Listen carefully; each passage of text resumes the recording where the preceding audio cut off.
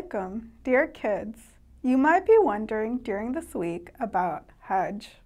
What is Hajj? Why do so many Muslims gather in Mecca? And what is this black building people are circling around?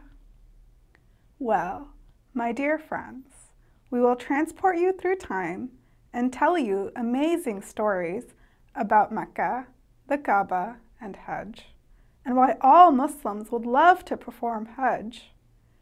Every day during Hajj, we will have a new story just for you.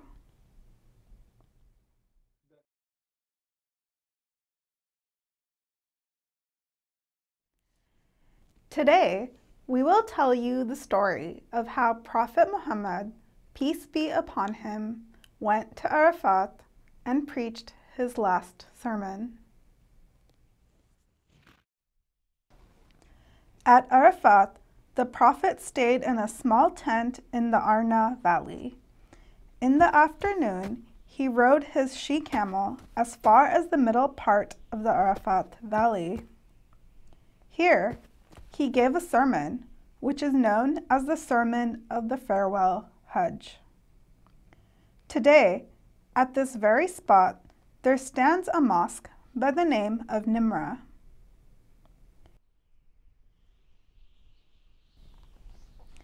In his message to humanity, the Prophet emphasized the highest moral values.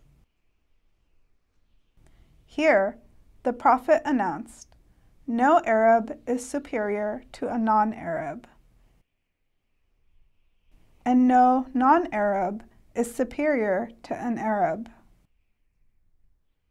No black man is superior to a red man, and no red man is superior to a black. Except through taqwa or fear of Allah. The most noble among you is the one who is deeply conscious of Allah.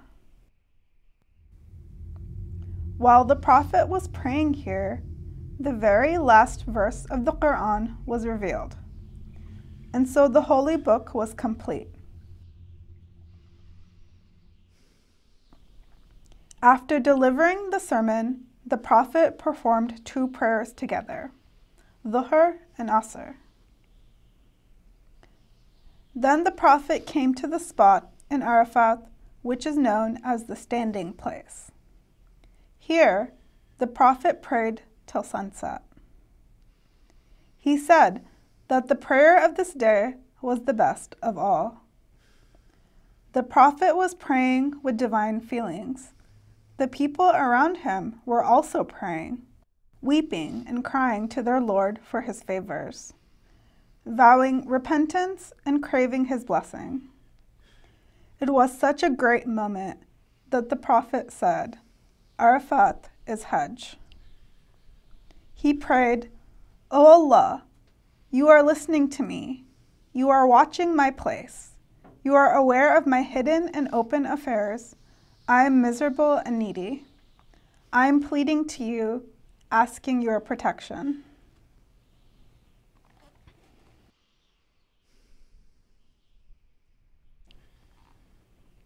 At the top of the 200 feet high Mount of Mercy, Prophet Muhammad wasallam, seated on a camel, preached his last sermon to a crowd of over a hundred thousand. Here, are some of the things the Prophet said. All believers are brothers. You must live in peace with one another. Everyone must respect the rights and property of his neighbors. The practice of usury is banned. That is, lending of money in such a way that the borrower is forced to pay back much more than he took. There must be no rivalry or enmity among you. You are to look after your families with all your heart. I am leaving behind two things the Quran and the example of my life. If you follow these, you will not stray from the right path. Worship Allah, be steadfast in prayer, fast during Ramadan, and pay alms to the less fortunate.